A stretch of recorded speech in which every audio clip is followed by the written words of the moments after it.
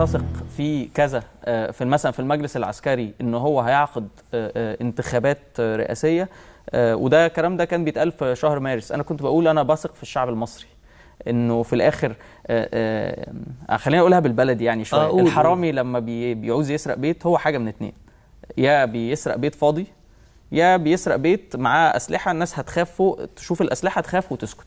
كويس. إحنا كسرنا حاجز الخوف وإحنا أنا بتكلم على الأقل عن شريحة كبيرة جدا من الشباب المصري اللي منهم ناس وقفت قدام مدرعات آه، أيام 25 يناير اللي منهم ناس ضحت بحياتهم وناس شافت ناس بتضحي بحياتهم. إحنا مش هنرجع لورا تاني. ولن نقبل نهائيا إنه مصر تدار بنظرية القمع الأمني. ولن نقبل نهائيا إن مصر تدار بفكرة آه، إنه آه، إنه الرئيس هو فرعون طيب مصر. televisión